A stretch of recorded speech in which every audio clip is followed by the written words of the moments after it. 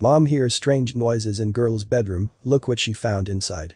This wasn't a creepy, dilapidated cabin in the middle of nowhere that was built on a long-forgotten burial site. It was a suburban duplex 30 miles from Chicago. So, when the family heard another wave of strange noises and eerie music, they weren't sure if they should call the cops or a priest. Tanya Smith pulled out another tray of blueberry muffins with a wide grin. Thank God this batch didn't burn. The Sunday afternoon baking ritual was important to her. It was a chance for her husband, Derek, and her daughter Brianna to spend quality time together without any electronics. That day, however, her daughter was acting strange. The normally chipper girl looked like she was going to fall asleep in the mixing bowl. When Tanya asked, what's wrong, Ladybug? The seven-year-old groggily lifted her head and gave an answer that made both her and her husband do a neck-breaking double-take.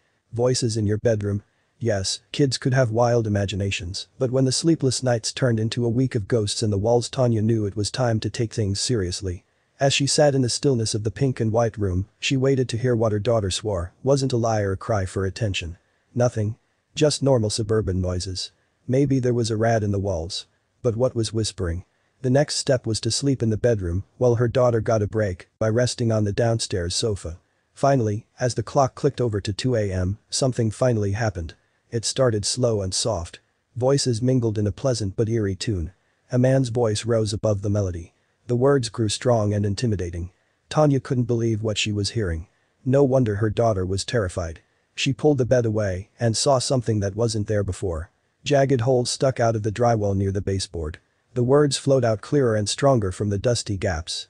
When she dragged her husband out of bed to see her discovery, his eyes turned huge, then furious. He stormed down to the basement and returned with a hammer.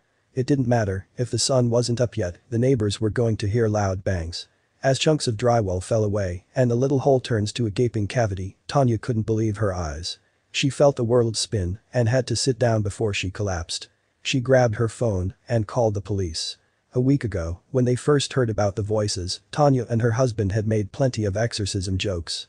But now, a priest would really have to come, because it looked like her husband was going to kill someone.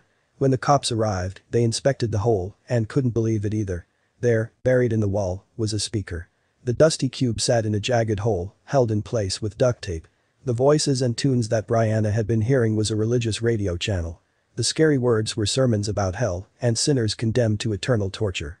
But why was, is pointed towards their daughter's bedroom, Tanya and her husband sat at the kitchen table, gripping their cups of now cold coffee. They didn't know their neighbor that well, but it was impossible to imagine a little old lady would do something so horrible. The answer the cops returned with made Tanya want to wring someone's neck. It turned out the old woman had been asking her son to set up her speakers for ages. But since he never got around to it, the old woman had taken things into her own hands and decided to do her own installation. Why didn't the Smith family hear any of the construction work? The old woman had spent hours sipping tea and leisurely scraping away a hole with a kitchen knife. The holes on their side of the duplex had also been slowly gouged away. The elderly woman had planned on putting up a shelf to hold her speaker. When the cops explained what she had done, the answer was unbelievable. Oh, well I'm happy I could share my station with their little girl. Kids need religious more than ever these days. But I can't lend them some of my tape to cover the holes. So sorry. It was clear the grandma wasn't playing with a full deck of cards. Tanya's husband knew what had to be done. He pulled his tools out and set up a speaker for the old woman himself, on the other side of the house. He also told her to call if there were any other fixes or odd jobs he could help with. Tanya also managed to get the son's number and give him an earful. At least their daughter could sleep in her room again and there were no such things as ghosts.